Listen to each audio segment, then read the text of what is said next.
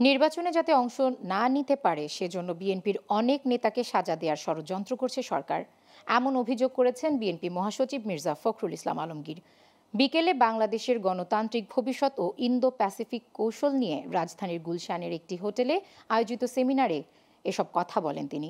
BNP নিরপেক্ষ সরকারের অধীনে নির্বাচনের মাধ্যমে জনগণের সরকার গঠন করতে চায় বলেও জানান মির্জা ফখরুল। আমরা যে সময়টা এখন অতিক্রম করছি, এই সময়টা জাতির জন্য সবাই আপনারা আলোচনা করেছেন সবচেয়েতে একটা সংকটময় মুহূর্ত আমরা অতিক্রম করছি।